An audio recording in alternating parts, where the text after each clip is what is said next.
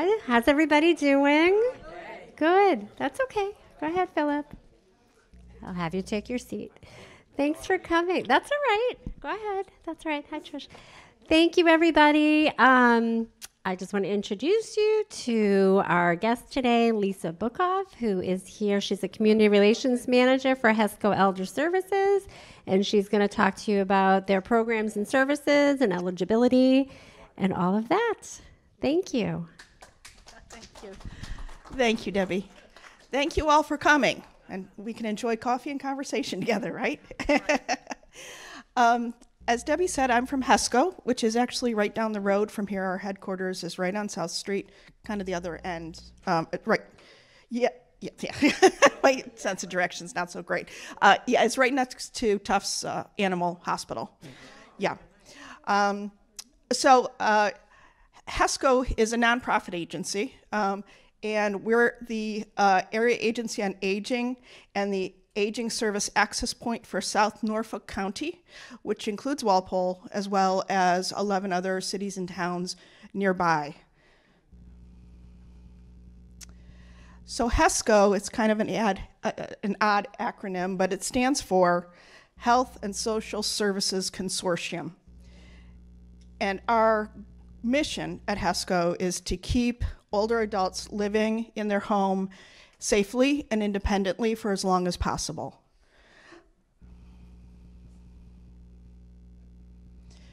These are the main programs we have at HESSCO. I'm going to touch on each one.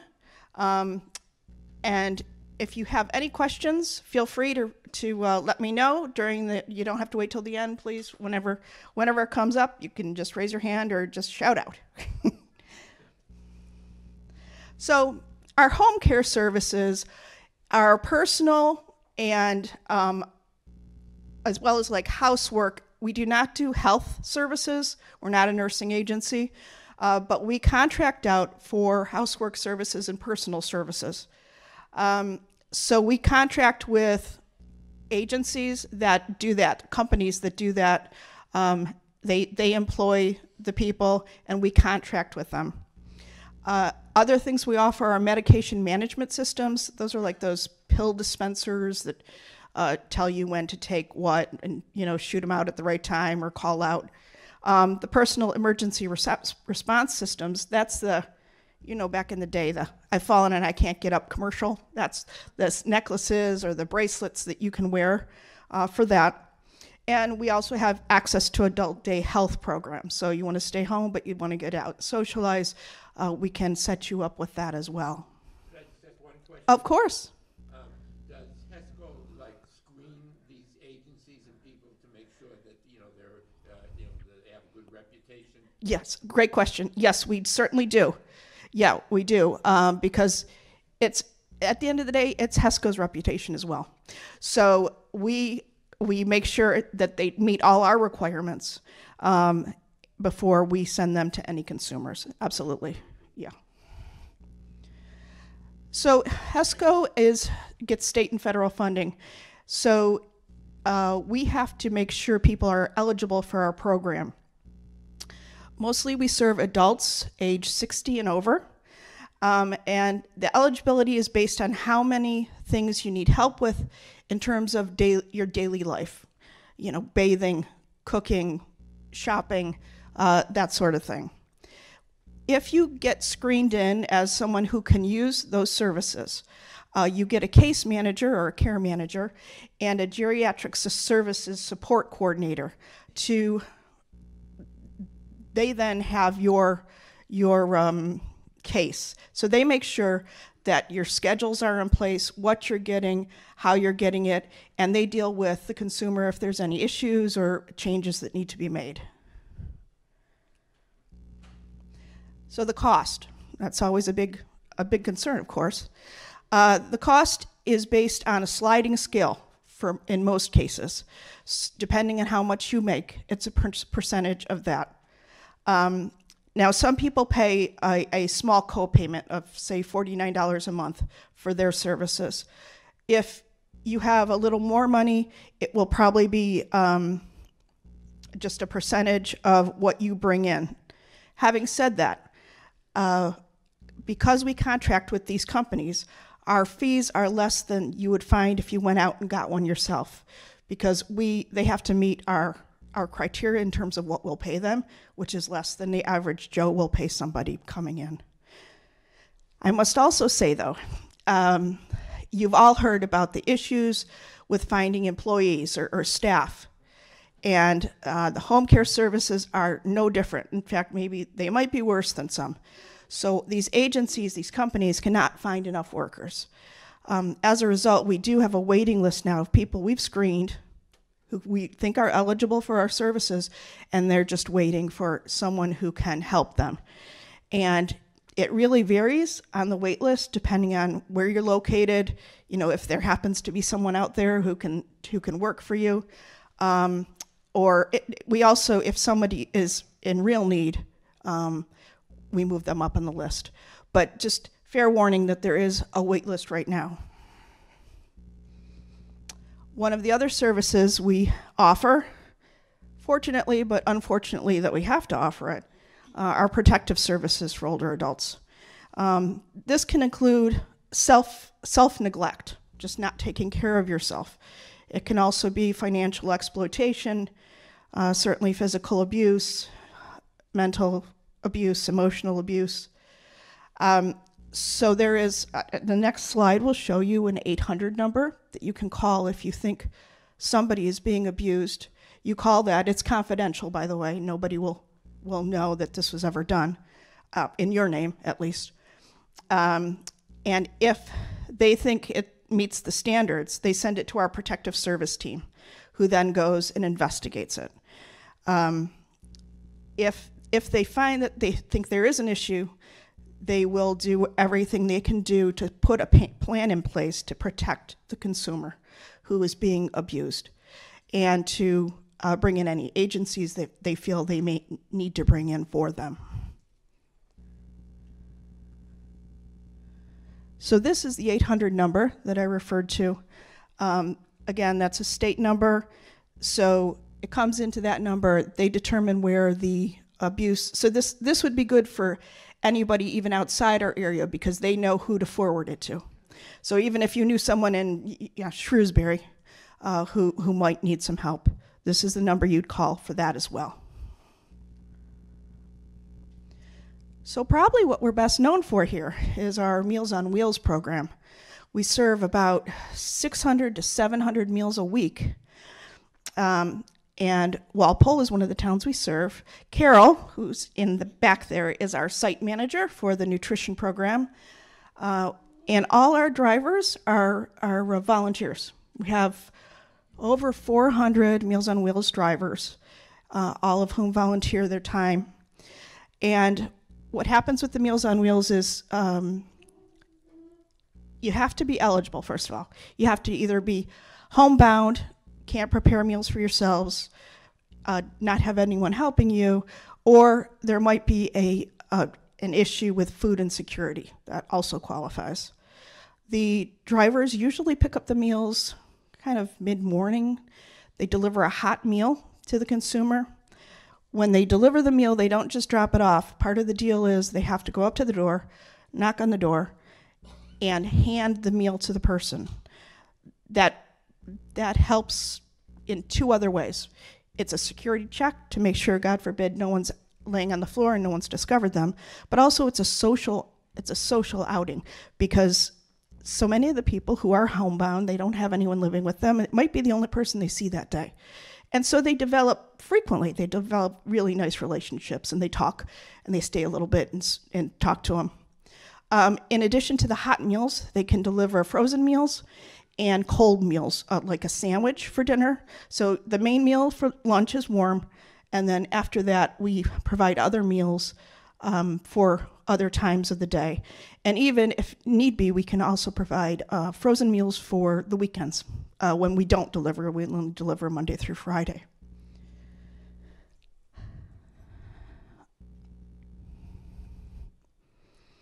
So, part of our nutrition program um, includes a dietitian. And oh, can I? I'm sorry. Let me just jump back. I know I forgot something on the Meals on Wheels. that is a free service. We do ask for a donation of $3 a meal, but it's totally uh, up to you whether you want to have a donation or not. It's not obligatory. Again, it, it is free. This nutrition program is also free, and this is to anybody. You don't have to be eligible for this.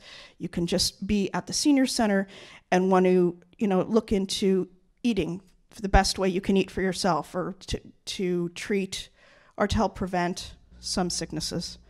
We have a dietitian on staff who comes to the Walpole Senior Center and will meet with you either one on one or she can do a presentation like this for more general things.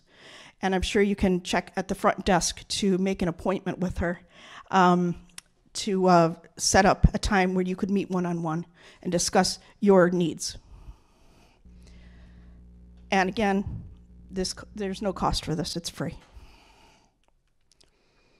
Now, the SHINE program. I bet you've all heard right now of the open. Too loud.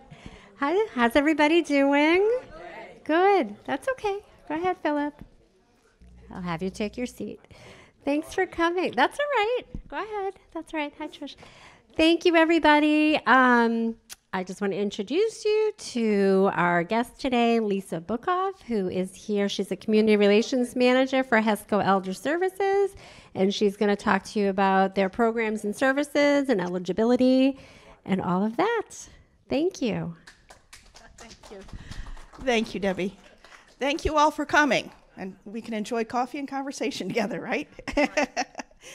um, as Debbie said, I'm from HESSCO, which is actually right down the road from here. Our headquarters is right on South Street, kind of the other end. Um, right, yeah, yeah, yeah. My sense of direction's not so great. Uh, yeah, it's right next to Tufts uh, Animal Hospital. Yeah. Um, so uh, HESSCO is a nonprofit agency, um, and we're the uh, area agency on aging and the aging service access point for South Norfolk County, which includes Walpole, as well as 11 other cities and towns nearby. So HESSCO, it's kind of an, ad, uh, an odd acronym, but it stands for Health and Social Services Consortium.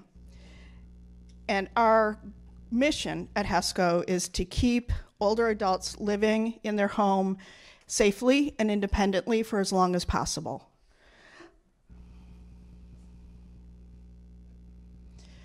These are the main programs we have at HESSCO. I'm going to touch on each one. Um, and if you have any questions, feel free to, to uh, let me know during the, you don't have to wait till the end, please. Whenever, whenever it comes up, you can just raise your hand or just shout out. so our home care services our personal and um, as well as like housework. We do not do health services. We're not a nursing agency, uh, but we contract out for housework services and personal services. Um, so we contract with agencies that do that, companies that do that. Um, they they employ the people, and we contract with them. Uh, other things we offer are medication management systems. Those are like those pill dispensers that uh, tell you when to take what and you know shoot them out at the right time or call out. Um, the personal emergency response systems. That's the you know back in the day the I've fallen and I can't get up commercial. That's the necklaces or the bracelets that you can wear uh, for that. And we also have access to adult day health programs. So you want to stay home, but you want to get out, socialize uh, we can set you up with that as well. Of course. Does HESSCO like screen these agencies and people to make sure that you know they're you know they have a good reputation? Yes, great question. Yes, we certainly do. Yeah, we do um, because it's at the end of the day, it's HESSCO's reputation as well. So we we make sure that they meet all our requirements um, before we send them to any consumers. Absolutely. Yeah. So HESSCO is gets state and federal funding. So uh, we have to make sure people are eligible for our program. Mostly we serve adults age 60 and over. Um, and the eligibility is based on how many things you need help with in terms of da- your daily life. You know, bathing, cooking, shopping, uh, that sort of thing. If you get screened in as someone who can use those services, uh, you get a case manager or a care manager and a geriatric services support coordinator to they then have your your um, case. So they make sure that your schedules are in place, what you're getting, how you're getting it, and they deal with the consumer if there's any issues or changes that need to be made. So the cost, that's always a big a big concern, of course. Uh, the cost is based on a sliding scale for in most cases, S- depending on how much you make. It's a per- percentage of that. Um, now, some people pay a, a small copayment of, say, $49 a month for their services. If you have a little more money, it will probably be um, just a percentage of what you bring in. Having said that, uh, because we contract with these companies, our fees are less than you would find if you went out and got one yourself, because we they have to meet our our criteria in terms of what we'll pay them, which is less than the average Joe will pay somebody coming in. I must also say though, um, you've all heard about the issues with finding employees or, or staff. And uh, the home care services are no different. In fact, maybe they might be worse than some. So these agencies, these companies cannot find enough workers. Um, as a result, we do have a waiting list now of people we've screened who we think are eligible for our services, and they're just waiting for someone who can help them. And it really varies on the wait list depending on where you're located. You know, if there happens to be someone out there who can who can work for you, um, or it, we also, if somebody is in real need, um, we move them up on the list. But just fair warning that there is a wait list right now. One of the other services we offer, fortunately but unfortunately that we have to offer it, uh, are protective services for older adults. Um, this can include self self neglect, just not taking care of yourself. It can also be financial exploitation, uh, certainly physical abuse, mental abuse, emotional abuse. Um, so there is, uh, the next slide will show you an 800 number that you can call if you think somebody is being abused. You call that, it's confidential, by the way. Nobody will, will know that this was ever done, uh, in your name at least. Um, and if they think it meets the standards, they send it to our protective service team, who then goes and investigates it. Um, if if they find that they think there is an issue, they will do everything they can do to put a plan in place to protect the consumer who is being abused and to uh, bring in any agencies that they feel they may need to bring in for them.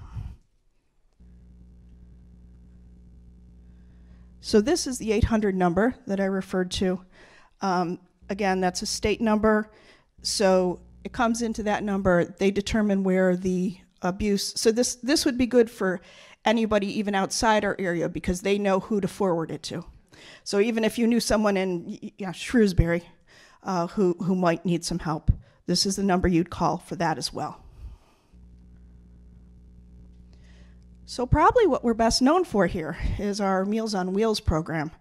We serve about 600 to 700 meals a week. Um, and Walpole is one of the towns we serve. Carol, who's in the back there, is our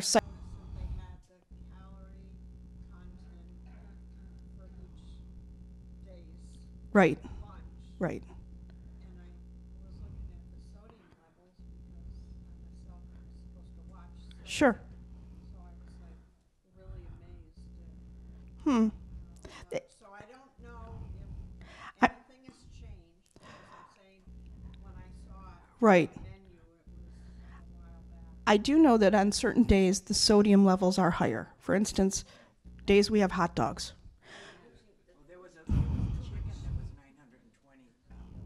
Mm. But I, I have a feeling if it balances out probably at the end of the month because we have to meet those requirements. Oh, right, right. I'll tell you an interesting story. So, um, the people f- who get Meals on Wheels for the holidays, for Thanksgiving and Christmas, will get a meal before before the day before the regular Meals on Wheels meal. But HESSCO does something else. We want to provide a nice meal. Um, and it doesn't it doesn't meet those guidelines. It it has more fat, it has more calories, it has more salt, it has more taste. so it's a special meal that we provide.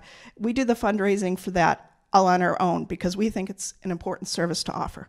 So we end up having to raise about ten thousand dollars to provide those meals to this year 304 people on Thanksgiving and Christmas the day before. Um, and those are nicer meals and they goodie bags and that sort of thing.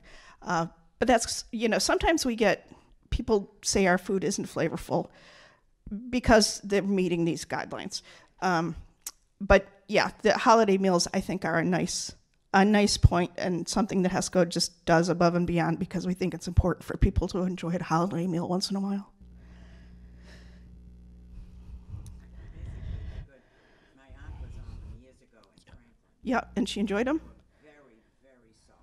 Oh, Noticed here that the cat cut down on the salt. right, right. Occasionally you get one that's a little more salty. Yes, yeah, I think that's right. Yeah, Yeah, I think it's cut back. right. I think it's probably the you know federal guidelines have probably changed quite a bit. And we also offer special meals. We have kosher meals, and we have um, what's the other one? Diabetic meals, um, and that's done separately. Yeah. I was gonna say also that you, you can get, um, you know, I'm very experienced with it, cause I, I took care, Hasco did a wonderful job for sixteen years on my mother. Oh. But it, it's, it's possible to get like, uh, low sugar meals and you. Right. You know, a, a, ask for that. If you're worried about nutrition, call up and, and they have different meals, really. Right. My mother was diabetic and, uh, it was a big help. Right. No, not at all. The other thing we offer is if uh, if someone's on a soft food diet, we have soft food diets as well. Yes.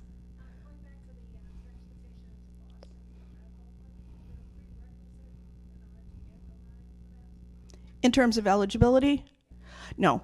Um, again, you just you go through your local uh, council on aging first, and if they can't meet the need, they'll forward it to HESSCO. Um, there's no income or it, it, you have to be 60 or over. Um, that's the only eligibility.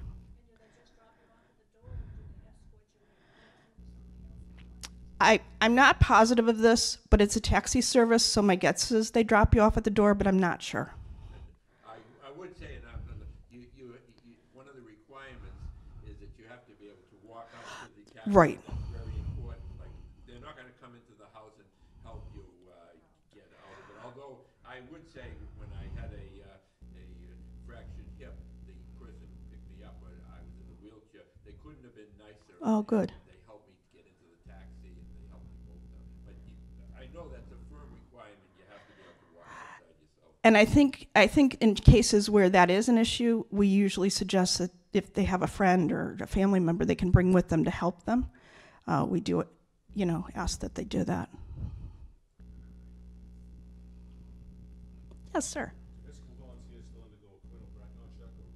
Yeah, absolutely. An application process and a CORI check, which is a state Cor- CORI. Uh, CORI's a state check that the police do. Um, if we have a few volunteers who live out of state, then we have to do a national background check. They're, we, uh, we're very careful with that. Um, they're going, they're getting the addresses of people who, you know, might be fragile.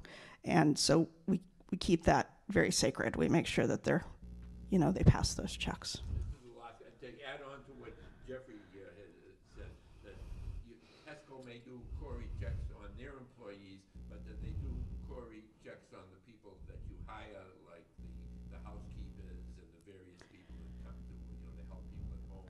We do not do those background checks, but my guess, and this is a guess, and I can get back to you with the, the answer, but I feel like the agencies who hire them must have them pass those background checks, and we would only contract with those agencies.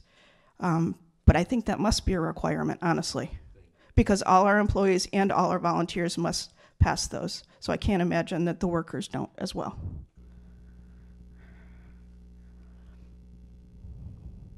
I did bring some little handouts um, in the car on the cart next to the, the snack table. There's some jar grippers um, and there's some wipes for your glasses to get the smears off. Uh, I also have some information here. Um, and if you have any specific questions, I'll, I'll hang around here. Yes.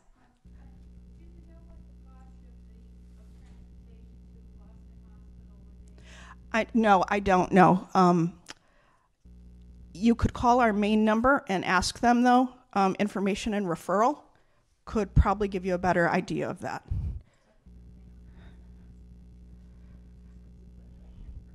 Okay, so thank you so much for joining me. I appreciate it. Thank you very much.